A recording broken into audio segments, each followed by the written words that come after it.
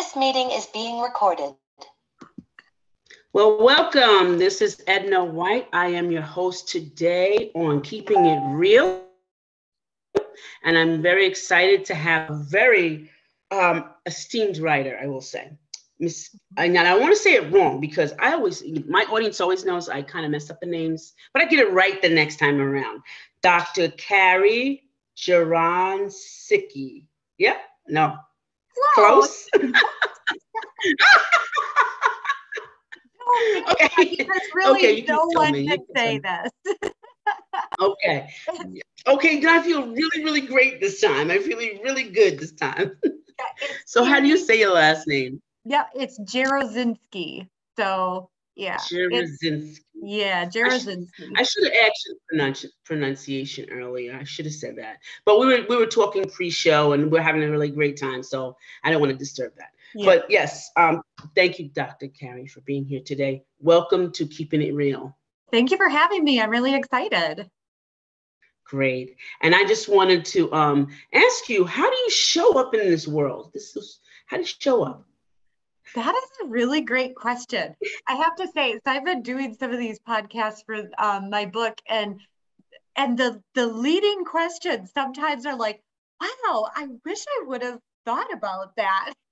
Mm-hmm. um, I wish I would have had that question before I jumped on. Um, you know, I just I this is how I like to show up in this world. And I hope okay. that this is how those who know me would describe me. Um, but I just, I try to be a very joyous person. Um, I mm-hmm. am someone who uh, is seeking contentment at all times, which is okay. it's really difficult for me to find contentment.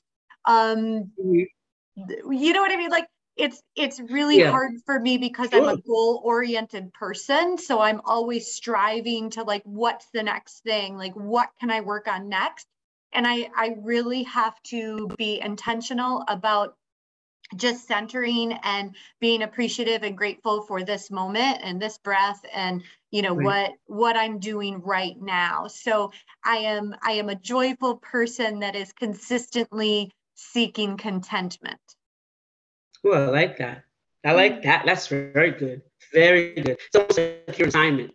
So everything is always, you know, figuring it out and just adding that little joy in there. That's great. Yeah, I like that a lot. Absolutely. So let's talk about um let's talk about your book, Reclaim Your Story, because I know a lot of my audiences, I always talk about the power of their story, you know, and your story is real, you know, you, and not to be challenged that you're you should you know put your story away because you know it's, it's past or whatever it is. But talk about reclaiming your story. Yeah. So um, this has a couple of different meanings to me. So I do share a lot of my personal experiences um, as it applies to seeking wellness and seeking health in my life. And so part mm-hmm. of of this reclaiming your story is really reclaiming my story because I had let a lot of things sort of take hold in my life, like fear and panic and anxiety. As we do, as all of us, all of us do. Yeah. Right. Yeah. Right. Yeah. And and so in writing this book, I really wanted to demonstrate the power of me taking back that control in my life. Mm-hmm. And instead of calling myself an anxious person, I'm a person that maybe suffers from anxiety every now and then, right? So yeah. that's part of mm-hmm. that reclaiming your story. That's not who I am. It may be right. a characteristic of me at some point in mm-hmm. my life, but it's not who my who I am and it's not who defines me so really yeah. reclaiming my story in that and and really this power of uh, self-determination so i am mm. the one that sets the goals in my life and i am the right. one that goes in and seeks those goals and and and creates actionable steps towards those goals so right. i'm not going to sit back and say oh it's my genetics or oh it's fate um you know i'm really going to take back yes, that power of my own mm-hmm. story, right? Yeah. And and in doing so, I share my personal stories with everyone else so that in turn they can take back their story as well. Mm-hmm. And I love I love the theme of storytelling, just like you said. It's so powerful. It's mm-hmm, really it meaningful powerful and personal. It is. Um, yeah, and it's it's this story that we are continuously telling ourselves in our own minds of what we can or cannot do. And it's un, that moment of awakening when we really uh, listen to what that story Mhm. is that we're telling ourselves is when we can regain that power. So most often we have this running mantra in our head and a lot of times it's mundane things it's i have to pick up the kids i have to do the dishes Yeah. i have to get to the grocery Yeah. store don't forget Yeah. the tortilla chips that kind of stuff right Yep, um, exactly.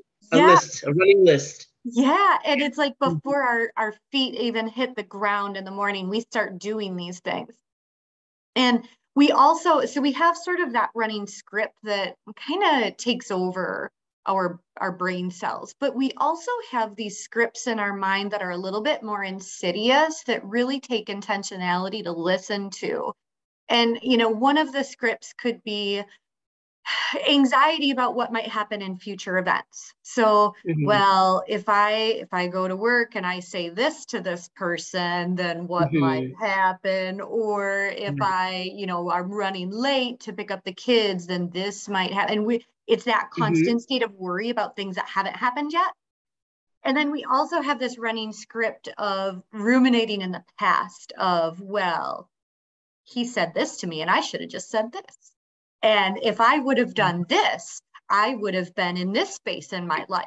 And if I would have, Right. you know, let that person do this, then this would have happened, right? So it's this rumination on past events. So we have the mundane things, we have the future, like worrying about those anxious, what might happen kind of things. And we have the ruminating thoughts in, Right. you know, looking towards our past and sort of interwoven into all of those things is this um, self talk about who you really are and what your story is.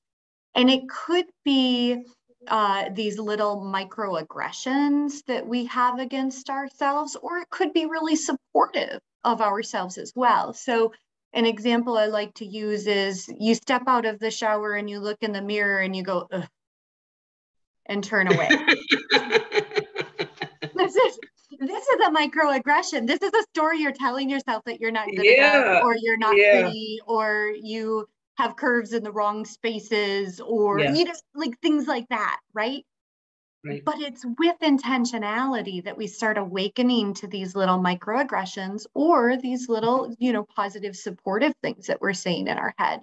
And it Sure. boils back down to the the um, premise of, you know, if you think you can do something, you're right. And if you think you can't do something, you're right. Right, yeah. Yeah. I, I often talk to my um, one of my favorite um, exercises for my clients is um, taking a full length mirror and taking everything off. So, Mm. you know, makeup, hair, if you have it, nail polish, if you have it, and literally looking and all clothes and literally taking and, and looking at yourself fully like the man in the mirror and um, saying, I love you from the top of your head all the way down to your toes. And then if you have some kind of like that little, I guess you said the little uh, microaggressions in your head, oh, I don't like that. But I always say, find a solution. So if I don't like this, Yes. okay, I got to make a goal that um, I can get this kind of handled, you know. So I'm making a goal. It looks good now, but I want to make it look better because I, you know, and you make it so that it it, it not spirals down, but spirals up, and Yeah. then you begin to love it. So that's one of my favorites. Um, my very favorite exercises, and everybody always laughs at me. Yeah, no, that, I really love that. That's absolutely fabulous. a so it's that really forcing you to look in the mirror Yes. and, and forcing you to address that inner self-talk. Yes. That's right. So, so you can identify that, but then at the Right. same time, how can you flip that switch?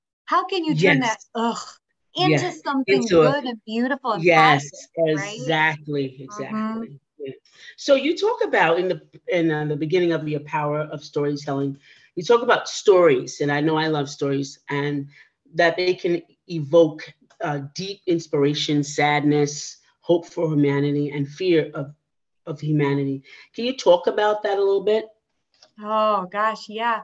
You know, we are uh, us humans, we're just like these social critters and we like to share our own stories and you know, typically we're sharing our stories to impart knowledge or evoke emotion and a lot of times it's both.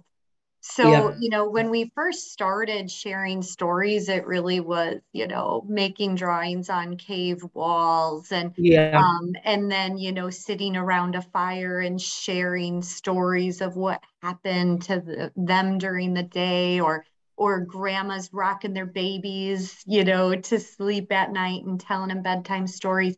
So it's sort of just ingrained in our being to impart mm-hmm. knowledge through the power of storytelling. Right.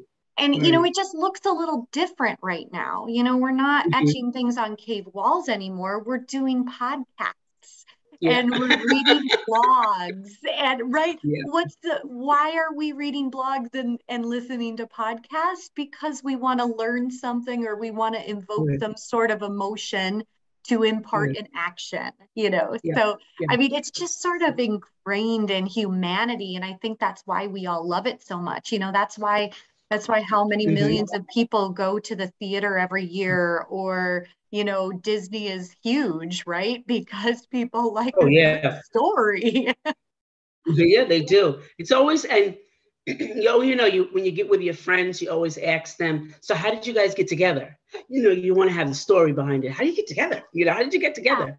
And you always want to hear that, that that that story you know? Absolutely yeah. And it's just so fun to connect that way too. I live in a small town and i was just at a christmas party and i made two connections within the first you know 30 minutes and my neighbor's like that is so central wisconsin like we all know oh my each gosh. from growing up they in the narrowed country. it down to central wisconsin. Oh my goodness.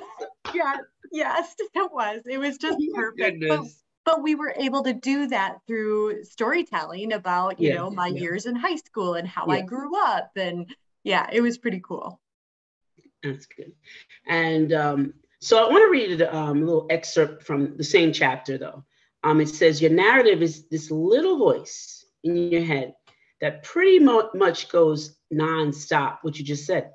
The voice is even more powerful than the stories in the first chapter.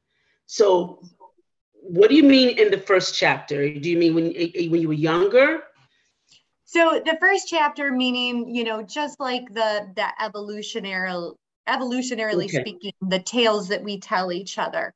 But really, okay. what what wields the most power is this story that you tell inside your own head.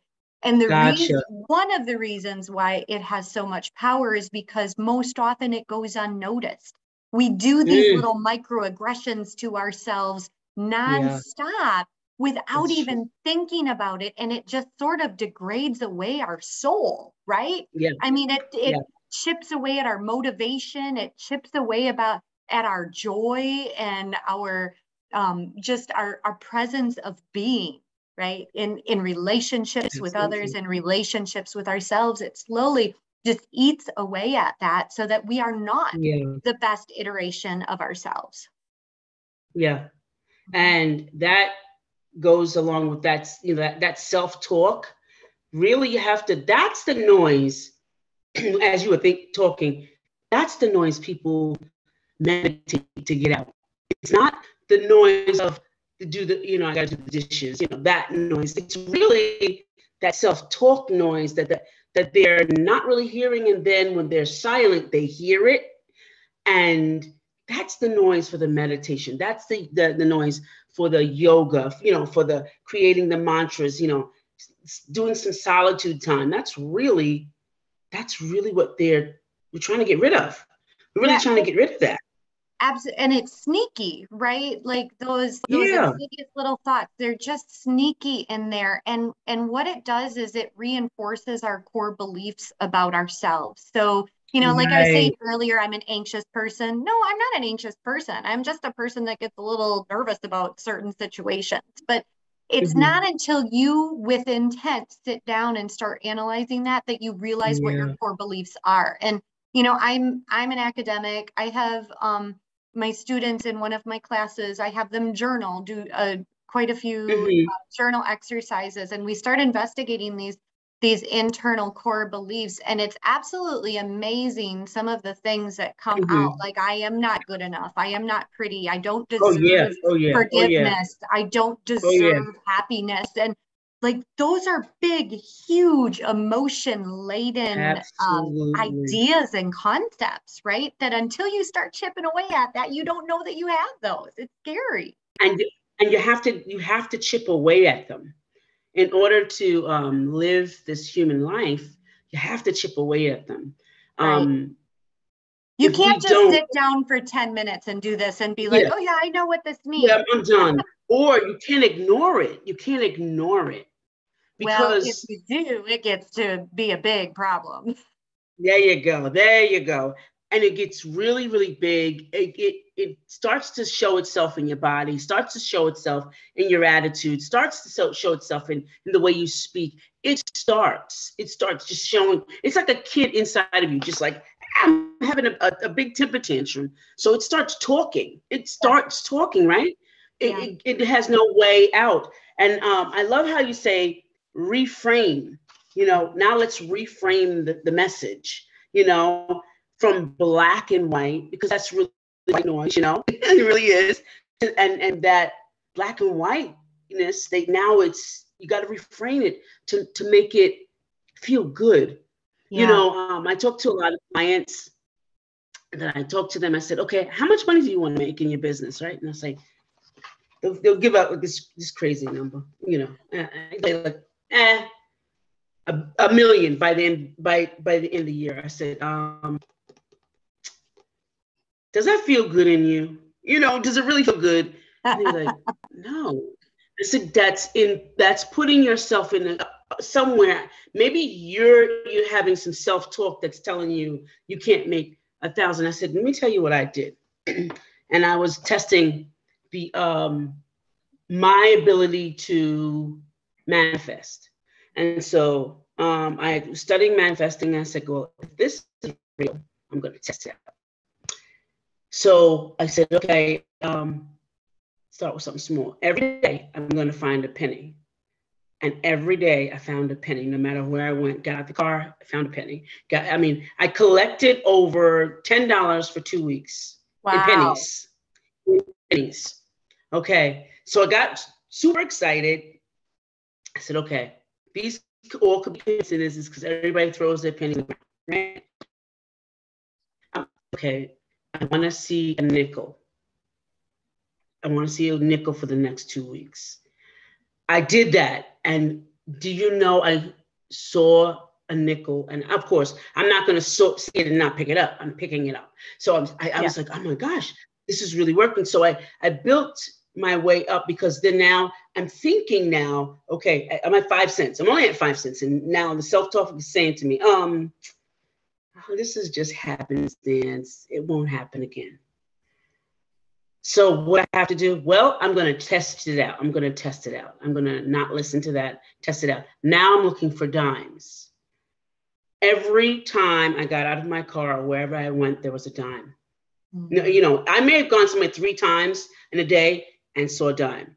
But if I, you know, it would depend on when I was going out. I literally found a dime. So Mhm. now I'm getting brave. Now I'm getting cocky. Now, like, oh, let's do a dollar.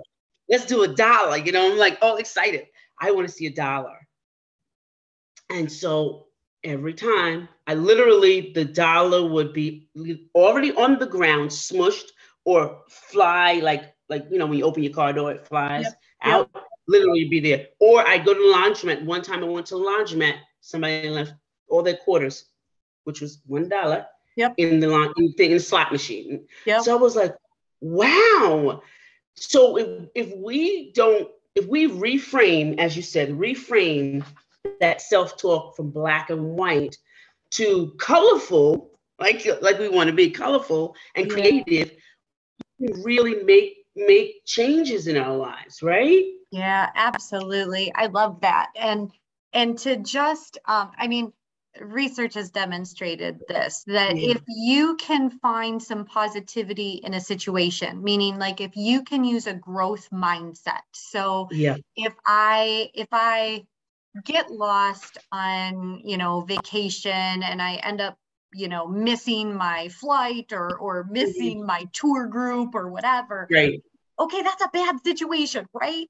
I can choose to be angry about that, or I can say, okay, I'm angry about this. This is how anger feels. However, Right. you know what? I was able to meet a really nice human being on the side of the road that Yeah. showed me directions. And Right. I now have faith in humanity that there are good human beings out there that just want to help people. Yes. Right. So if we can embrace this growth mindset, we know we have better health Yeah. outcomes. Isn't that crazy? Yeah. Like literally, It's if we great. just have that positivity mindset, we know that we're going to have better health outcomes Absolutely. as we age. So that's some that's like an easy intervention for anybody to do, right? Just be more Anybody. Exactly. Find that So silver how do you so how do you sprinkle that that forgiveness, like you said Oh. in the, the magic wand of forgiveness in there and all of that we're doing? How do we do that? Yeah, you know, honestly, and I think I refer to this in the book, like I think forgiveness is the hardest, right? Not Yeah. so you have this component of forgiving other people that have harmed you in your life. Um, you know, and I'm not, I don't want to make this trivial. Like there are people that have had some really super bad things happen to them. And Mhm. and it is almost beyond comprehension of how they are able to forgive those that have harmed them and you know sometimes this just takes years and decades of therapy right um so so there's the component of forgiving those that have harmed you but then there's also the component of forgiving yourself for what you have done to others or what you have Mhm. done to yourself so going Yeah. back to that inner critic of, you know, those microaggressions or telling yourself you're not good enough or you're, you know, you're ugly or you're stupid or whatever that core critical belief is, can you can you get to a point where you can forgive yourself for treating yourself that way? Because Yeah. let me tell you one thing, like would you would you say to your friend you're ugly? No. Would you say to your mm-hmm. friend you're stupid? No. Would you say to your No. friend that was a stupid move? Why did you do that? No. But yet we can do that to ourselves all the time, right? So, like if I were to say that to my friend, I would ask forgiveness for doing that, right? I That's a jerk move.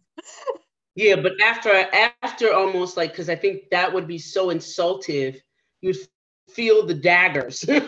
Yes. Yes. they would be So- so they would be so like the daggers like looking at you like what are you crazy? Like, right. That I wouldn't call myself a What are you drinking? What are you having? What is that? Like, come on. I would not I would not call myself a friend if I treated a person like that. So why Oh, no. can we treat Absolutely not. ourselves that way? Why That's do right. why is it okay for us to treat our it's not okay to treat Nope. ourselves that way. So can we get to this space where we can forgive ourselves for consistently treating ourselves like Mhm. that for how many X amount of years, decades, whatever? So getting yourself to that state of forgiveness, or even getting yourself to the state where you are contemplating forgiveness of yourself and Yeah. others, Mm-hmm. you then in turn will internally tell yourself that you are now worthy of this behavior change. You are worthy of achieving joy. You are worthy of achieving Yeah. contentment. So can we get to that space where you can let go that negative energy of, you know, non-forgiveness and really start just opening up, being vulnerable because these are big scary emotions, right? Mm-hmm. being vulnerable to that because in turn your your conscious will just be like okay now i know i'm worthy of you know going to the gym. I'm worthy of having stable healthy relationships with my friends or with a partner or people at work so yeah forgiveness is probably the hardest one but i Yeah. think it's the most influential as well Okay, that that really makes sense. Um, of course, I got more stuff. Um, letting go. This is another magical thing. Letting go of fear Yeah. in the scene of your letter. Yeah, that's that's that's heavy. And I know when I, you know, one of the exercises I did when I was in, in therapy is um, write a letter to the person that perpetrated you. And like I'm like, ooh, you know, and you couldn't, I, I couldn't get past. I could, I was had the pen on the paper, but I couldn't get past. Everyone's gonna be mad at me. Oh. And it was um it was my own it was my own paper. It's not something I was writing and putting out there. Like right. And I was like, just to write the the letter to myself, Oh. the this bad self-talk, everybody's gonna be mad at you. Everybody's gonna Oh. be so I couldn't even write it. So talk about how you know this how to add letting go of the fear. Yeah. Yeah, fear is a tough one as well, and it kind of does go hand in hand with forgiveness. So, for your mm-hmm. example, I would almost take a step back and, like, clearly you weren't ready to write that letter at that moment, um, Yeah. but maybe just starting to get curious of why are you worried about letting other people down in this moment? Like, how, what does that look like? And really just getting curious about the root of why Yeah. you're worried about, you know, others feeling let down instead of, you know, really um, appreciating that this is a self-healing exercise. Yeah. So sort Exactly. of getting curious about that. And and you know, the letting go part probably would be the actual writing of that letter. But like I said, you probably weren't ready to write that letter at that Yeah. moment. You maybe needed to do a little bit more self-forgiveness uh, work or forgiveness of others. I'm pretty work. sure. Yeah, before you Yeah. can let go. I'm So that's sure I again, think because I was 18. Yeah. Yeah, I was Yeah. 18. So, you know, just just being able to um, you know, meet the side I was 18. So Yeah. um yeah. going I mean- to the therapist was a big jump, you know. yeah. But just like that statement in and of itself is, is just really reflectful on, uh, or reflective on how big of a heart you have. So maybe in that moment, you can say, you know what? I am really appreciative of my good quality of having a big heart and worrying about others and just start building on your own strengths, right? Mhm. So just Right. like Oh, okay. acknowledging Okay. I, you know, I, I am a good person. I am Right. respectful of other people's feelings. I Right. want other people to feel good. And then maybe once you get through that, you're like, okay, but I deserve to feel good too.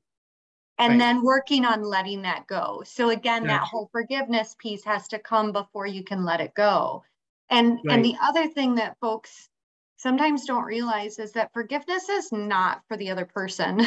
like not No. at all you're not letting them back Never. into your life you're not letting them you know muddy your boundaries That's right, a that's right. completely separate instance you are letting go of Oh, this right. anger and this fear that you hold within your own body because it's only harming you it's not harming Yes. anyone else it's harming you so Yeah, that's why it's important to let it go and there's there's a phrase i like to Mhm. use let it go and let it be so you know if you're Yeah. not able It's to good. let it go just yet can we just let it be can we just sit here and be curious about it and figure out where it came from and just kind of chew on it a little bit until we Mhm. are at that point where we can let it go Right. Yeah. Yeah, that I see that that um being very important, you know. And I didn't learn those things until later, till afterwards, you know. you know But, none of um, us do that's like lived yeah, It experience takes time, you know. And I was I I call this whole um healing from trauma or surviving through it peeling an onion. And you always the first layer you're not gonna pe- you're not gonna cry, but then the second layer there's some tears.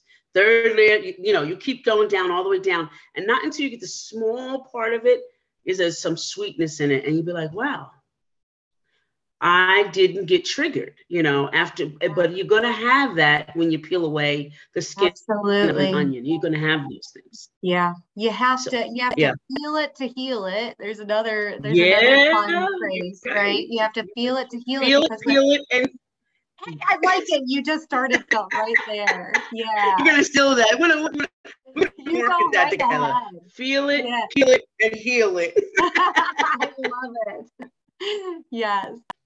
so that's great. Dr. Carrie, um, could you give um, anyone who really wants to share, like you did, your story, and uh, you know what, you know what they could do to really get out there? Because I know that a lot of self-talk is going to come up for them as well.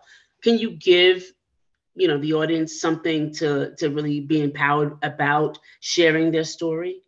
Oh, yeah. Well, and and it, this goes back to when you when you first awaken to your story and then Mhm. share your story, you reclaim your power to that story. Right. So Right. it could be something as and I don't want to I don't want to use the word simple, but it could be um a small or intervention like you were talking about just writing a letter.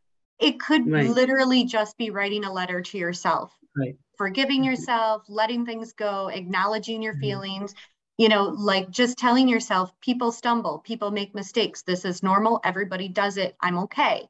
Um, so it could just be as as little as you're sharing your story on a piece of paper by yourself and then you crumple it up and throw it away, whatever. But you you gave birth to those words now, right? They're they're sort of out Mhm. there in the Mhm. world. And and maybe next time you're not just going to write the story, but maybe you could share it with a therapist, or maybe you could share it with a Yeah. friend, or maybe you could share it with your dog because there's a Mm. difference between writing the words down and saying them out into the universe. There really is a difference there. So Mhm. really just baby steps, but you know, everybody is at a different space. So when I talk about behavior change, you know, most people are thinking about diet and exercise, diet and exercise. And that's fine if that's where you want to go. But a lot of times we need to take care of this other stuff first Yeah. to make sure our other interventions, our other health interventions really are able to come to fruition. We need to set Yeah. that stage to be successful Yeah. because what happens is folks will, you know, they'll go to the doctor and the doctor will be like, oh, you've got high blood pressure and you're overweight. You need to lose weight. And that's a trigger to like, oh gosh, I need to get rid of all of Yeah, my right. flour and I need to go to the gym and I need to work out six days a week. And and maybe that's Yeah. sustainable for two weeks, but it's not sustainable in the long term, right? Right. So what can we do to make ourselves feel worthy of change and and you know looking at our diet or moving Mhm. more you know cleaning up a little things here or there. You know what can we do in our head to really set the stage to make sure that we're successful? Because if you jump into it and then you quote unquote fail i don't like that word but that's what people use like fail it feeds into this whole cycle of i can't do it I Yeah, just yeah. I quit every time, I fail every Mhm. time. Why even bother? You know, and it get you get Mhm. stuck in that in that loop. Mhm. Yeah. I, I, you know, I'm one of those ones that I do, you know, go to the doctor and I'll ask them for certain things, and you know, like, and the minute they say diet, I was like, uh, uh Yeah. That triggers me. That's Yeah. one of my words that triggers me. Don't tell me that. Maybe if you tell me to go to a nutritionist and let's work on using what I already have as a diet, I said, please don't tell me that.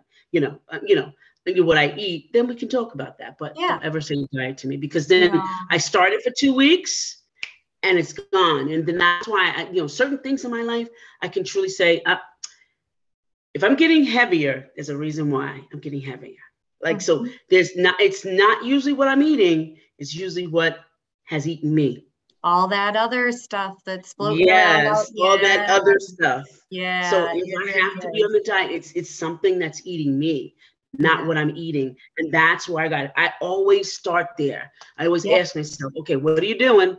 Why is this Mhm. happening? Yeah. What's going on? I ask myself that, you know, you know, so that I can, like you said, make the stage.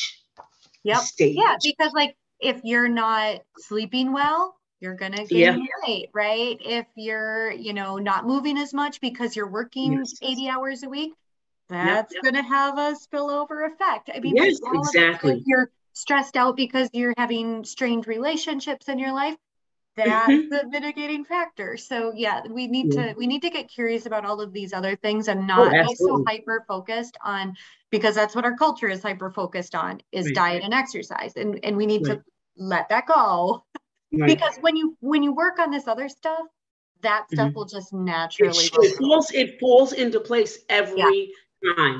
It does. without a doubt without a doubt for me when I ask myself something without a doubt everything falls into place Yep.